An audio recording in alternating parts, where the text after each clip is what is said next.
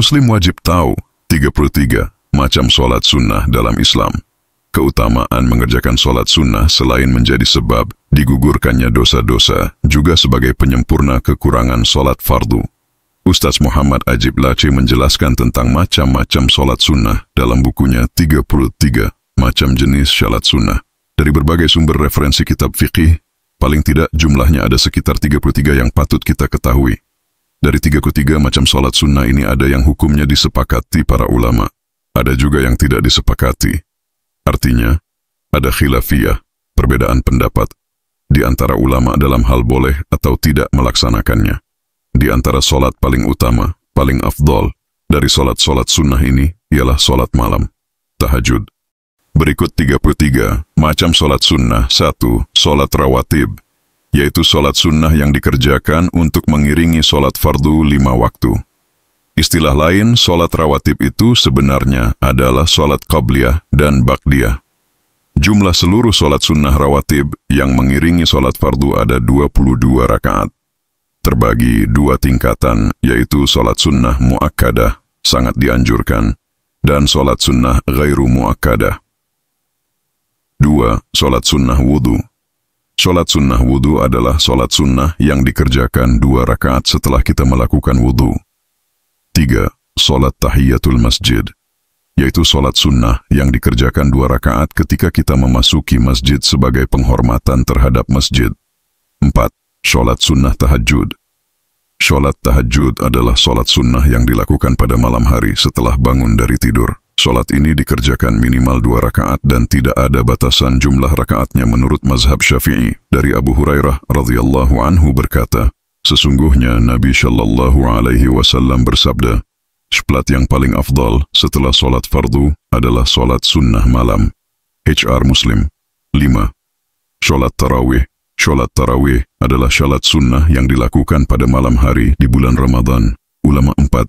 Mazhab sepakat jumlah rakaat sholat tarawih adalah 20 rakaat, bukan 8 rakaat. Sebagian ulama mazhab maliki mengatakan 36 rakaat. 6. Solat witir. Solat penutup ibadah malam yang waktunya antara solat isya sampai masuk waktu subuh. Jumlah rakaatnya 11 rakaat dan paling sedikit satu rakaat, ganjil. 7. Solat duha. Solat sunnah yang dikerjakan ketika matahari sudah terbit sempurna bulatannya sampai menjelang azan zuhur minimal dua rakaat dan paling banyak dua belas rakaat.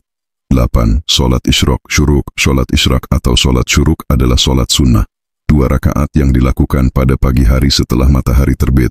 9. Solat awabin, yaitu solat sunnah yang dikerjakan enam rakaat antara maghrib dan isya. Solat ini disebut juga sebagai solatnya orang yang kembali atau bertobat kepada Allah. 10. Solat tasbih, yaitu solat sunnah empat rakaat yang di dalamnya terdapat bacaan tasbih sebanyak 300 kali. 11. Solat hajat Solat hajat adalah solat sunnah yang dikerjakan dua rakaat dalam rangka meminta kepada Allah agar semua hajat atau keinginan kita dikabulkan. 12. Solat taubat Salat taubat adalah solat sunnah yang dikerjakan dua rakaat dalam rangka bertaubat kepada Allah agar semua dosa-dosanya diampuni oleh Allah. 13. Salat istikharah Salat istikharah adalah salat sunnah yang dilakukan dalam rangka meminta petunjuk kepada Allah atas sebuah pilihan agar diberikan kebaikan atas pilihan tersebut. Minimal dikerjakan dua rakaat kapan saja, kecuali pada waktu terlarang. 14. Salat iyad Iyad artinya adalah kembali atau berulang-ulang. Salat iyad adalah salat dua rakaat yang dikerjakan setiap tahunnya paling tidak dua kali, Idul Fitri dan Idul Adha. 15. Salat istisqa yaitu salat sunnah yang dikerjakan dalam rangka meminta kepada Allah agar diturunkannya hujan. Dikerjakan dua rakaat secara berjamaah. 16. Salat gerhana yaitu salat sunnah yang dikerjakan saat terjadi gerhana baik gerhana matahari dan bulan.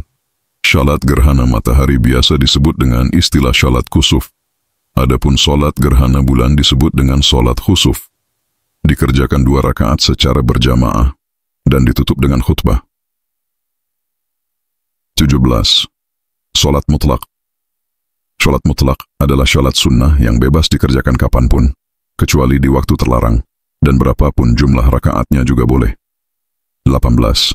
Sholat sunnah ragaib Sholat ragaib adalah sholat sunnah 12 rakaat yang dikerjakan secara khusus antara waktu maghrib dan isya pada malam Jumat pertama di bulan Rajab.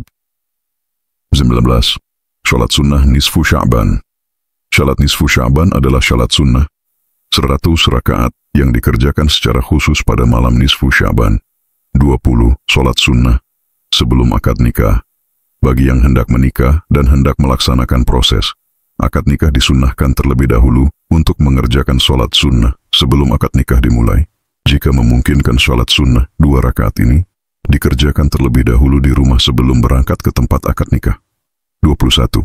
Sholat sunnah zafa'af yaitu sholat sunnah dua rakaat bagi pengantin baru pada malam pertama sebelum mereka melakukan jima. Sholat ini disebut dengan sholat sunnah zafaf.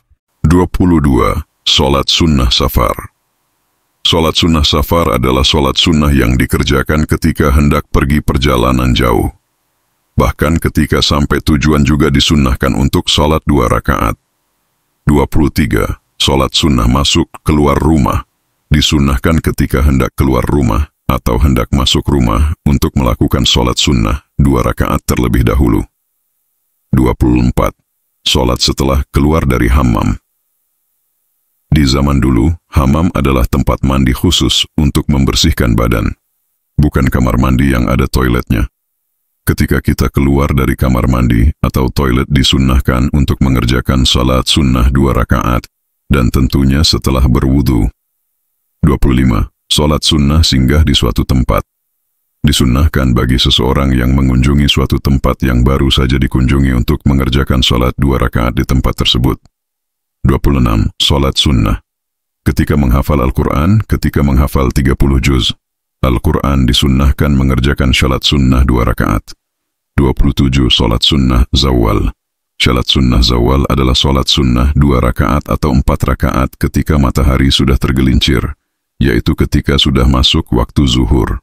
28. Sholat sunnah ihram Sholat sunnah ihram adalah sholat sunnah dua rakaat yang dikerjakan ketika hendak niat ihram haji atau niat ihram umrah. 29. Sholat sunnah tawaf Sholat sunnah tawaf adalah sholat sunnah yang dikerjakan ketika selesai mengerjakan tawaf haji atau umrah. 30. Sholat sunnah Setelah keluar dari Ka'bah, yaitu sholat dua rakaat bagi seseorang yang berkesempatan masuk ke dalam Ka'bah. 31. Sholat sebelum keluar dari Masjid Nabawi, yaitu sholat bagi yang mengunjungi Masjid Nabawi di Madinah. Dikerjakan dua rakaat terlebih dahulu sebelum keluar atau meninggalkan Masjid Nabawi. 32. Sholat sunnah syukur setelah istisqa, yaitu sholat sunnah sebagai bentuk rasa syukur setelah melaksanakan syalat istisqa minta hujan. 33. Salat sunnah qatl Salat qatl adalah salat sunnah yang dilakukan oleh seseorang yang hendak dihukum mati. Sebelum dia dibunuh atau dipancung, disunnahkan baginya untuk salat sunnah dua rakaat. Demikian macam-macam salat sunnah. Bagi siapa saja yang ingin mengamalkan salat sunnah di atas tidak ada larangan, karena ada ulama yang membolehkannya. Wallahu a'lam bishawab.